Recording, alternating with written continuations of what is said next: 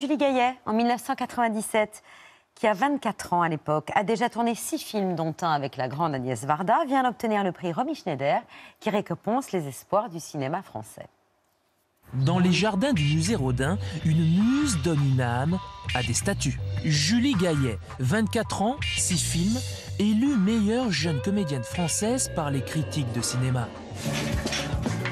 Au début, j'ai pas travaillé tout de suite, tout de suite, donc euh, il fallait bien que je finance mes stages de théâtre, mes cours, euh, tout ça. Donc j'ai travaillé comme serveuse euh, ici, au Coffee Parisien, et puis à Londres comme barmaid, comme serveuse dans un pub. Je faisais des sandwichs sur l'autoroute, j'ai fait plein de trucs pour payer mes stages de studio.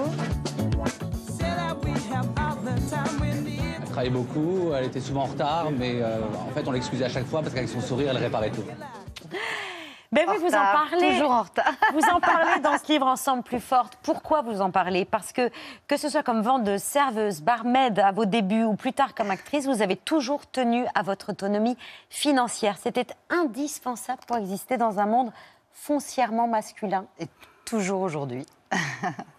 oui, oui, c'est. Euh, ben, j'ai essayé en tout cas avec ce livre parce que j'ai beaucoup. C'est très difficile pour moi d'écrire. C'est pour ça que c'est pas du tout. C'est pas parce que c'est le 8 mars, c'est la journée du droit des femmes que le livre sort, puisque ça fait trois ans que je travaille dessus. Et comme pour mes documentaires, je me posais cette question sur euh, l'engagement des femmes et toutes ces femmes que j'ai rencontrées. Et je voulais faire un documentaire. Et puis finalement, j'ai commencé à écrire leurs portraits. Et en écrivant leurs portraits, je me suis dit qu'il fallait quand même que j'écrive un peu de moi. Donc me poser la question, et cet exercice de l'écriture est, très, moi qui suis pudique, est très particulier d'essayer de se replonger.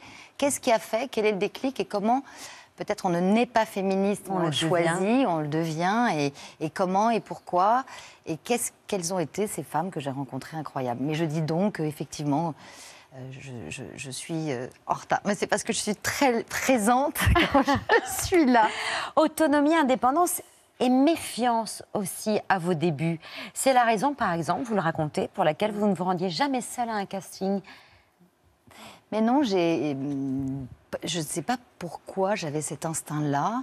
Avec, euh, j'allais toujours avec une camarade, on allait à deux. Donc une, une fois, on a eu une surprise, on a ouvert la porte et le producteur était en peignoir, mais on était deux. Et, euh, et j'ai toujours eu cette sensation. Mais Pourtant, on n'en parlait pas, il n'y avait pas eu la vague MeToo, il n'y avait pas eu toutes ces révélations. Et, je crois que ça a été une énorme prise de conscience de la société de se rendre compte de tout ce harcèlement que subissent les femmes, de tout qu'elles anticipent. qu'elles anticipent, voilà, comment on regarde derrière notre épaule avant de faire un code et de rentrer sous un Porsche.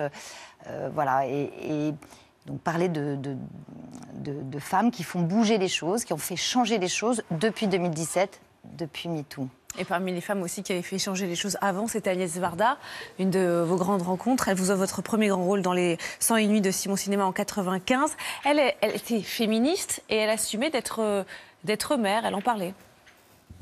Si vous faites un film et que, par exemple, votre petit garçon a une rougeole, qu'est-ce qui se passe? Ah ben, il s'est passé ça littéralement avant-hier. Eh bien, j'étais ennuyée.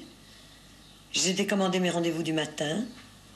Ensuite, je me le suis fait garder l'après-midi, puis je l'ai resoigné le soir. Et moi, j'accepte de très bon cœur, avec Jacques d'ailleurs, qui quand il est là, là, il n'est pas là, mais nous acceptons de très bon cœur que les enfants nous dérangent. De dire ça déjà à l'époque, d'assumer, d'être à la fois énorme. artiste et mère, c'était énorme. Énorme. J'en parle dans ben le livre justement de ce moment où Agnès, elle, elle, elle faisait pas, elle n'était pas dans les mots, elle n'était pas dans un forcément euh, dire je suis féministe, mm. elle l'était par les actes elle imposait ça. Elle l'imposait justement euh, avec les enfants. Un journaliste un jour lui avait dit Oh, Mathieu, là, il est. Donc elle avait emmené Mathieu, enfin, nous gêne. Et elle a dit, bah, puisque ça vous gêne, on va arrêter là. Et elle avait pris Mathieu et elle était partie en disant exactement ce qu'elle dit. Et c'est un modèle pour moi, vraiment. Euh, euh, j'ai commencé avec elle, ça a été mon premier grand rôle.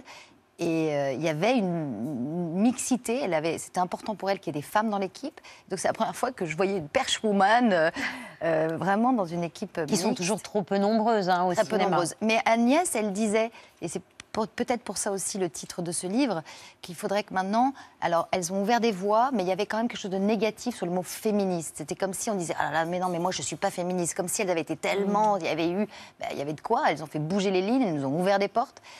Et là, depuis 2017, depuis MeToo, cette positive. Parce, pourquoi Et ce que disait Agnès, c'est vrai, c'est qu'il faut maintenant qu'on soit ensemble. Ensemble, on est plus forte. Il faut qu'on se rassemble, qu'on se mette nous aussi en réseau. Et, euh, et c'était ce qu'elle espérait. Et je crois que c'est ce qui arrive depuis 5-6 ans maintenant. C'est qu'on a pris conscience qu'ensemble, on était plus forte.